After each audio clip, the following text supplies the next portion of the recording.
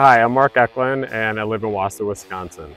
This is the 2015 Indian Scout that I built to help promote the United States Army. From 1986 to 1990, I served in the Army as a 67 November Huey mechanic. This started as a brand new 15 Scout when I bought it, and I converted this into a sport bike like you see here.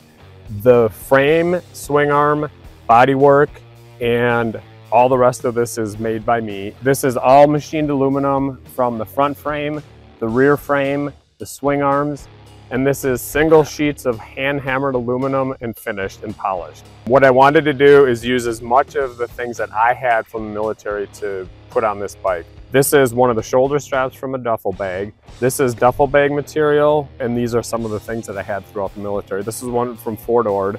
I was a specialist. This is wings from being a helicopter mechanic, a marksman. Um, this one is the Sky Dragons because I was attached to those when I was in Germany. And then these are the six ribbons that I have. So it gave me the full military look to the bike with using the things that I had.